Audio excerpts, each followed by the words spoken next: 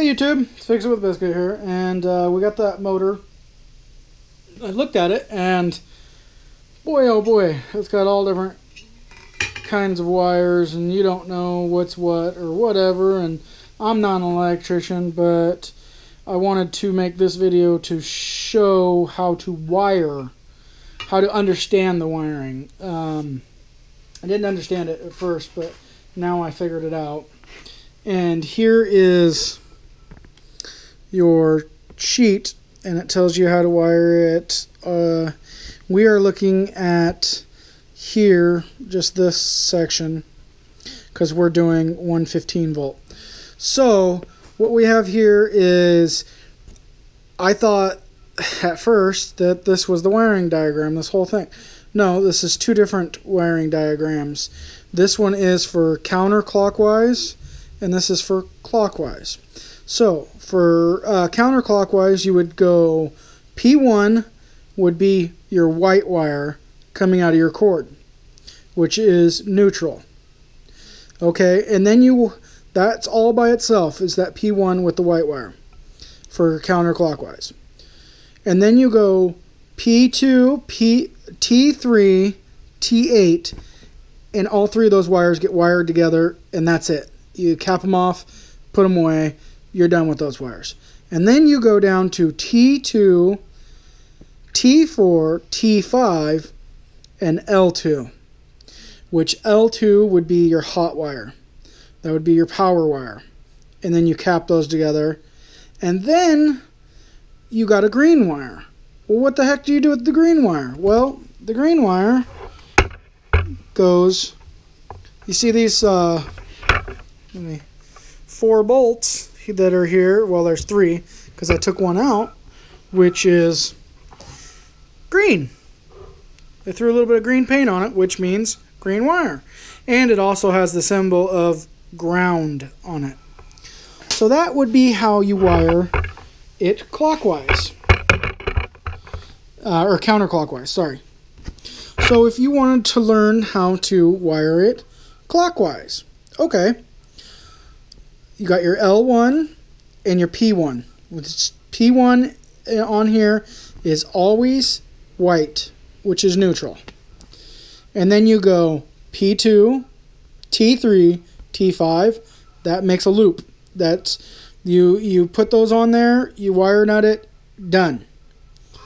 Okay, and then you move on to your hot wires, which is T2, T4, and T8 with your black wire uh, is what I have as your hot wire. Uh, not all are going to be the same, as in uh, wiring to the wall, because there are some universal plugs that use uh, different color. I think they use blue, um, blue, yellow, and green, or blue, yellow, and red. I don't know. I, I don't remember what those colors were, but there is a universal um, wiring for those, and you would have to figure that out. This is only for the white, black, and green. That's the only way that this wiring uh, works on this that I just explained it. I uh, for the universal um, different colored wires, uh, you'd have to look up to find out what your power, neutral, and ground is. I don't remember. I have wired a few things with them, um, but that's a different video. So, anyways, so we want it to go counterclockwise for right now because we're just gonna, um, you know. So I'll show you what you do. There is you got your P1, which is your white wire, which you find that's P2, and this is P1. So P1 goes to your white. We're just going to, we're not going to plug this in or anything. I'm just showing you what it looks like all together. Okay, and then we want P2, T3, and T8. So we want, we got our P2 here. We need T8 and T3. Where are you, booger? Okay. T3. all of these ones get wired together. Okay?